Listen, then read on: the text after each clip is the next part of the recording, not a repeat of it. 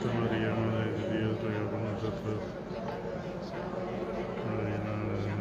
te salve María, llena eres de gracia, el Señor es contigo, bendita tú eres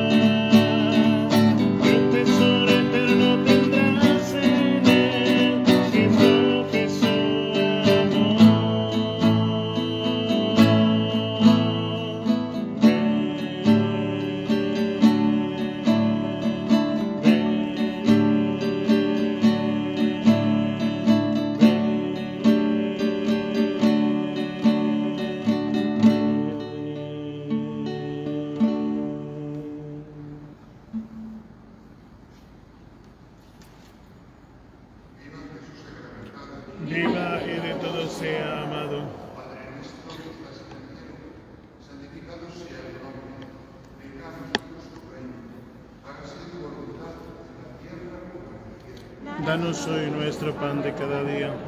Perdona nuestras ofensas, como también nosotros perdonamos a los que nos ofenden. Y no nos dejes caer en la tentación, y líbranos del mal.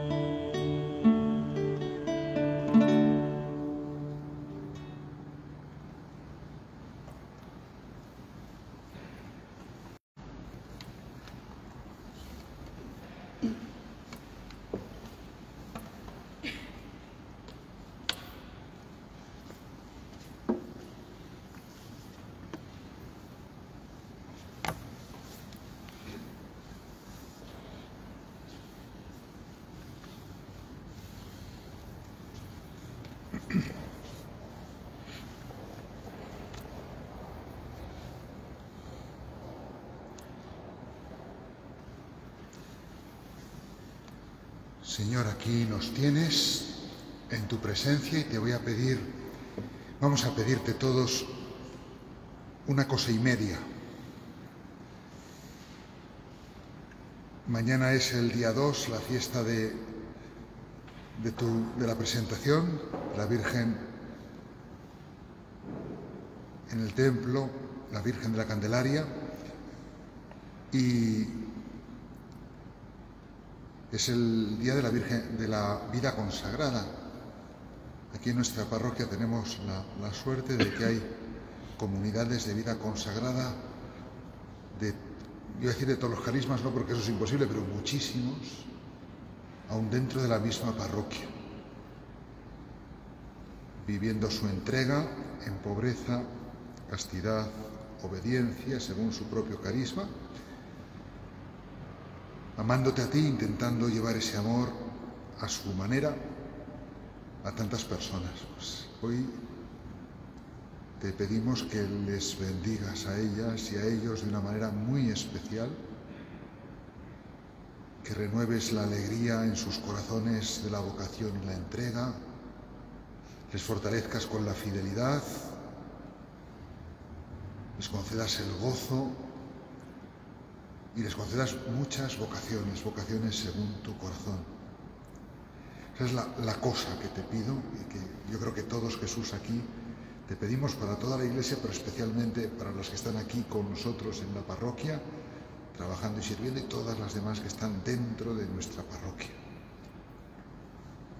Y junto a esa cosa, la media, que es un poco más egoísta, que es la obediencia. La obediencia. Todas estas personas viven la obediencia. Obediencia a un superior, a una superiora, a un provincial, etcétera, etcétera. La escala de mando. Una vez conocí Jesús a un señor en una parroquia en la que estuve que daba muchos frutos y me dijo, don José, ¿sabe por qué yo vengo aquí? No me esperaba yo la respuesta. Mire, yo soy militar y aquí en esta parroquia se nota que hay alguien que manda y los demás obedecen y por eso vengo a esta parroquia. Yo no me esperaba que dijese eso. Pero bueno, el espíritu se sirve, tu espíritu se sirve de cualquier cosa. La verdad que era un párroco que mandaba muy bien, mandaba mucho, pero muy bien. Y, bueno, pero aunque mandase mal, porque no obedecemos en la iglesia a las personas, porque sea menganito de tal que es simpático, que es listo, que me cae bien, que piensa como yo pienso, que tiene mis mismos gustos y mi misma forma de ver las cosas. No, obedezco al Espíritu, te obedezco a ti, Jesús, a través de esas mediaciones humanas que a veces no las entiendo, que a veces cuesta, que a veces tienen fallos. Pero yo no les obedezco porque sean santos, les obedezco porque en ellos actúas tú.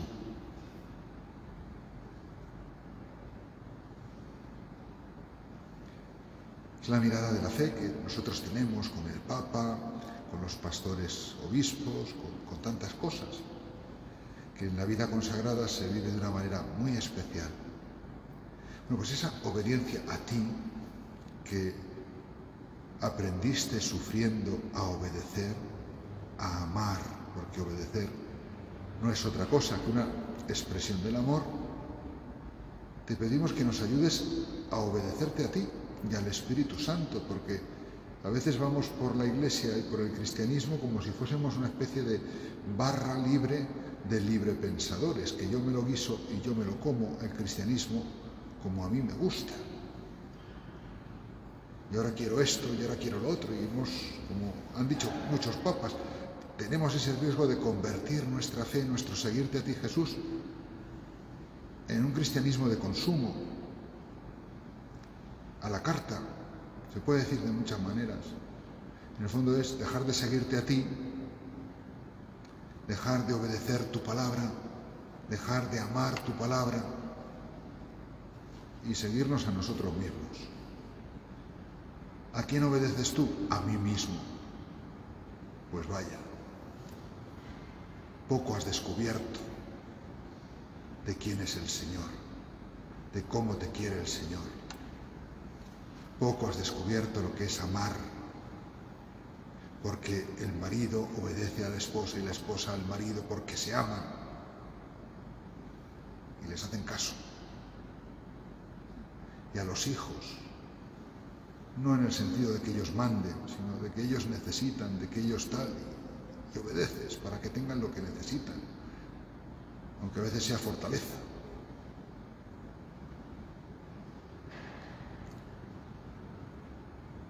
Recuerdo, Jesús, una conversación con una persona a la que quiero mucho, que estaba planteándose lo del ayuno dichoso, el ayuno y la abstinencia, y lo vive, es una persona que lo vive. Y decía, yo, José, es que no entiendo lo del ayuno y la abstinencia, porque qué tontería, se podrían hacer otras cosas más útiles y tal. Claro, seguro que más de uno de aquí se le ha ocurrido, ¿no? Luego lo que pasa es que las cosas más útiles esas que se te ocurren no las haces. Entonces no haces ni el ayuno ni las cosas más útiles. Pero bueno, sin entrar ahí, Jesús me decía, es que mi madre me ha dicho que hay que hacerlo porque lo manda la iglesia. Y claro, no me convence. Yo recuerdo que en aquella ocasión, pues le expliqué los sentidos del ayuno, de renunciar al capricho, de renunciar a algo para dárselo a los demás, de imitarte a ti que ayunabas, que de cosas salen, ¿verdad? Y luego he lamentado no decirle la última cosa, aunque seguro que como es muy buena, ya la ha descubierto ella con la ayuda del Espíritu. Y es que cuando ayunamos y hacemos la abstinencia porque toca, porque está mandado, ayuno de mi capricho, ayuno de hacer lo que me viene en gana, ayuno de ser yo el Dios de mi vida. Es decir, obedezco, amo, voy en comunidad.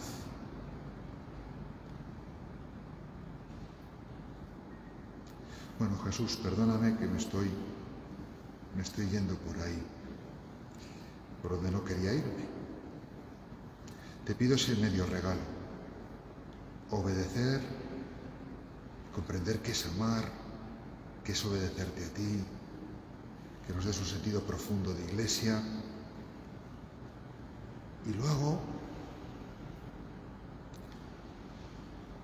obedecerte más de cerca en las mociones que tú en nuestro interior nos das. Quiero Jesús que nos enseñes a escuchar tu voz en nuestro interior con más claridad, para que seas tú y tu espíritu el protagonista de nuestra vida interior. Que no sea tanto yo que me examino y descubro, pues debería mejorar en esto, debería mejorar contra la pereza, debería mejorar contra la soberbia, debería mejorar en generosidad, porque es que soy un egoístón. Pero Jesús está muy bien y, nosotros tenemos que poner nuestro examen, nuestra revisión. Pero es verdad que hay veces que Jesús, eres tú el que a través del Espíritu dices, oye, ¿por qué no me das esto? Y a veces hacemos, no, qué tontería. Si no tiene ninguna importancia, yo voy a seguir luchando en ser más generoso. Y hemos tenido esa lucecita en esa oración, en esa homilía, en ese momento que leíamos el Evangelio o ese librito espiritual que te decía Jesús, que eras tú quien nos decías, oye, llama por teléfono a tu tía, que lo que quiero es que llames por teléfono a tu tía. Si es que faltaba solamente que llegase el cartero con el telegrama en la mano, ya no se usan, pero bueno, que llames a tu tía. Pero como es una cosita que yo no le daba importancia, no la he hecho. He dejado pasar esa moción, esa lucecita que me decía, llama a tu tía. Eso es obedecer descubrir esas emociones que vienen de ti, que nos hacen poner nuestras fuerzas en otra cosa distinta de la que yo quiero o me parece mejor, y que dan un fruto. Porque al final es amar, es amarte. Mira Jesús, te voy a regalar esfuerzo en no sé qué. Oye, que lo que yo quiero es que no, que no, que yo te regalo lo que yo quiero. Mira, no, regálame lo que... Bueno, Jesús, enséñanos a amar, enséñanos a obedecer al Espíritu que habla en nuestro interior.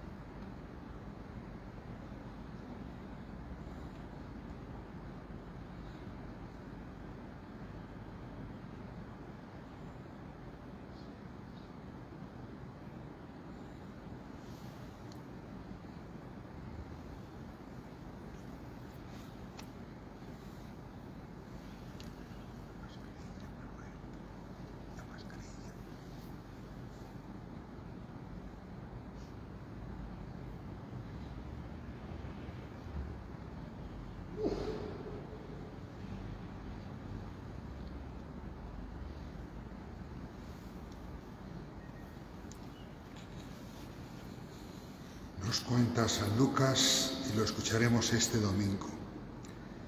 En aquel tiempo la gente se agolpaba alrededor tuyo para oír la palabra, estando tú a orillas del lago Genesaret. Y viste dos barcas que estaban junto a la orilla. Los pescadores habían desembarcado y estaban lavando las redes. Subiste a una de las barcas, la de Simón, y le pediste que la apartara un poco de tierra. Desde la barca, sentado, enseñabas a la gente. Me acuerdo, Jesús, que esta imagen es la que salía en esa edición del catecismo, ese de preguntas y respuestas de, de la conferencia episcopal de catecismo de, de segundo grado. ¿Sabías? Un dibujo era muy simpático, tú ahí de pie en la barca, la gente en la orilla apelmazada, escuchándote. Cuando acabaste de hablar, dijiste a Simón, rema mar adentro y echad las redes para pescar. Simón te contestó, Maestro, nos hemos pasado la noche bregando y no hemos cogido nada, pero por tu palabra echaré las redes. Y puestos a la obra hicieron una redada de peces tan grande que reventaba la red. Hicieron señas a los socios de la otra barca para que vinieran a echarles una mano. Se acercaron y llenaron las dos barcas que casi se hundían.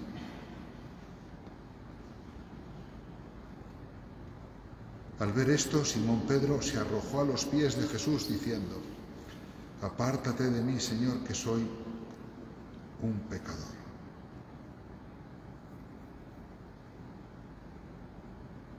Jesús, tú dijiste a Simón, no temas, desde ahora serás pescador de hombres. Y dejándolo todo, te siguieron.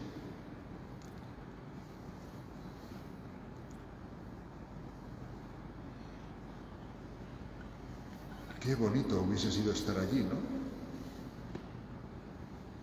Bueno, también es muy bonito estar aquí. Y oír tu voz.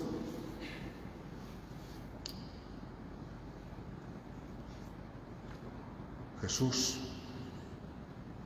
¿qué pasaría por la cabeza de Pedro, de Simón, todavía Simón? Todavía no era Pedro, era Simón. Y él, que era pescador de profesión desde, no sé, nos podemos imaginar a Pedro con, con 6, 7 años viendo en la orilla cómo llegaría su padre con la barca, fijándose en todo, las primeras veces que tiraría de la red, cómo aprendería el nombre de los peces y cómo sacarlos y cómo cuidar las redes, ya, como ya de mozalbete empezaría a echar una mano. Un hombre de, de pesca, que sabía muy bien lo que se jugaba en la noche y por donde tenían costumbre los bancos de peces de moverse en cada época del año, en cada hora.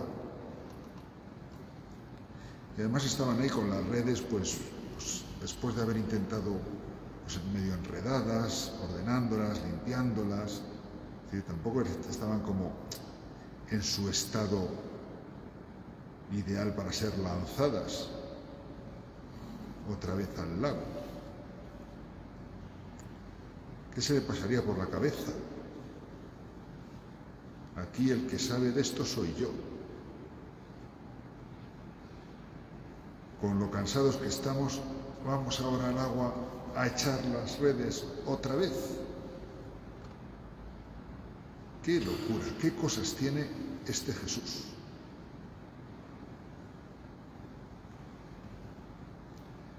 Y humanamente, todo lo que se le pasaría por la cabeza, yo he leído un comentario que decía, incluso le podría pasar por la cabeza, y luego tú Jesús se lo cuentas a mi mujer a ver qué te dice, ¿no? de qué, he hecho yo otra vez en el lago echando las redes con el Nazareno. Bueno, pues,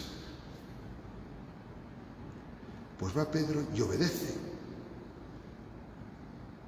Humanamente tenía todas las razones, todas, ni una le podíamos decir, no es que te equivocas Pedro en esto, es que te equivocas en esto otro, no, no, no se equivocaba en nada.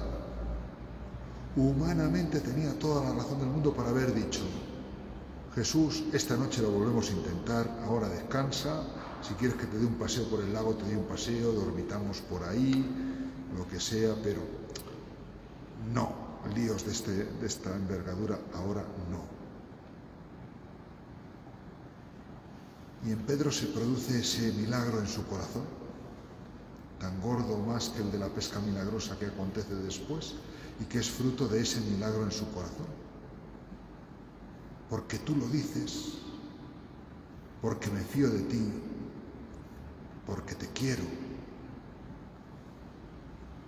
Te obedezco y lanzo las redes. Aunque se vayan a reír de mí todos los que están en la otra barca y los que están en la mía no se rían delante mío ahora que vamos a estar ahí, tal, pero después, lo que me van a decir después cuando volvamos, cuando tú no estés delante. Aunque se rían de mí todos, echo las redes, porque te quiero, te obedezco, y a tu palabra allá que voy. Qué grande eres, Pedro. ¿Qué lecciones nos das?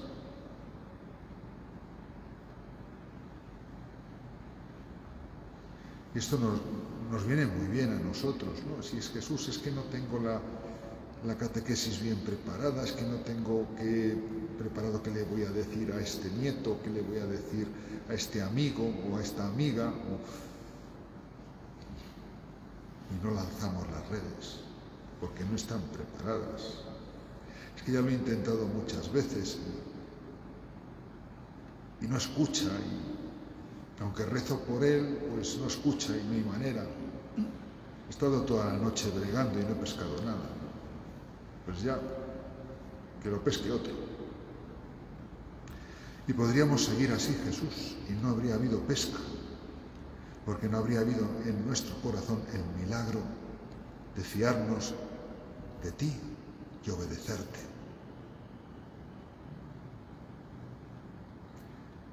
Qué bonito es ese voto, el cuarto voto, que creo que de diferentes maneras está también en otras congregaciones,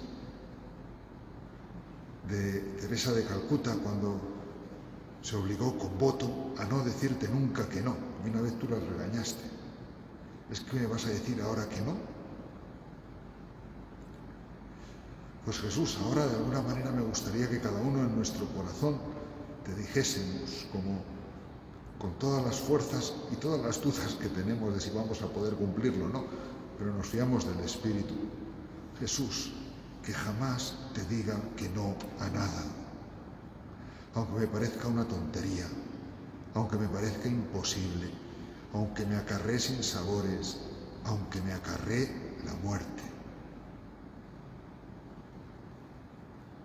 Que jamás te diga nunca a nada que no.